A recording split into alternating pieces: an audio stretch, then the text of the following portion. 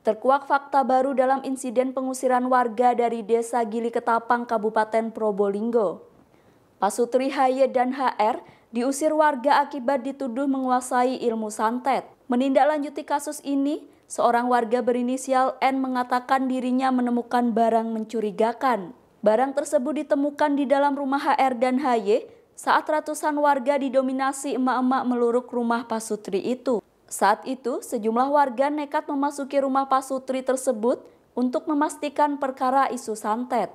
Warga justru menemukan benda aneh berupa kain warna putih menyerupai boneka dan secari kertas bertuliskan deretan nama. Nama-nama yang tertulis dalam secari kertas merupakan nama warga desa Gili Ketapang. Sementara Kapolres Sumberasi Ibtu Agus Santoso menyebut temuan tersebut tidak benar.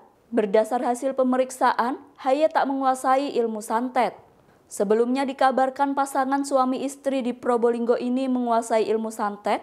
Beberapa warga yang terlanjur berang akhirnya membakar rumah dan sepeda angin tepat di area belakang rumah.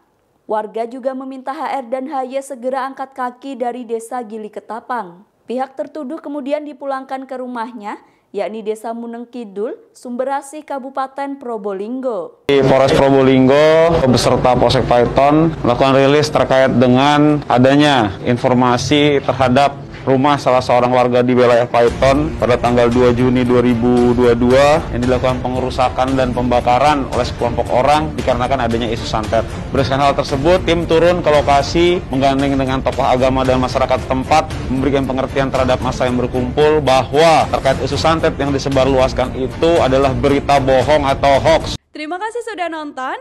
Jangan lupa like, subscribe, dan share ya.